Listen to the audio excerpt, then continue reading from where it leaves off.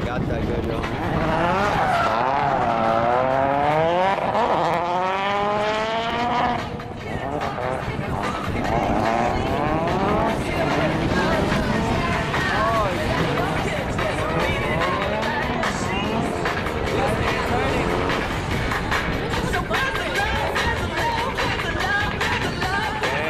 Yeah, I got it good, yo.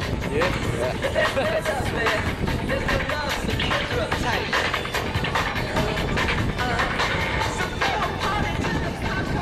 If you're just arriving, we are halfway through the top 32 pro practice, open practice, until 5 o'clock.